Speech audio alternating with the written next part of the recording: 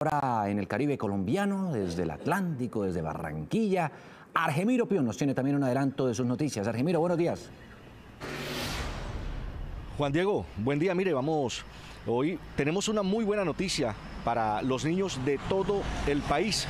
Mire, los pequeños que ya están vacunados contra el COVID-19 tendrán entrada gratis desde hoy hasta el 30 de diciembre a un lugar especial mágico aquí en Barranquilla. Es una nueva medida para seguir incentivando la vacunación contra el coronavirus y más adelante les voy a contar cuál es ese premio para los menores de edad.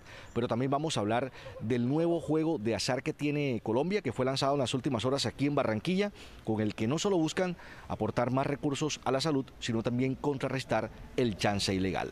Más adelante ampliaremos estas noticias.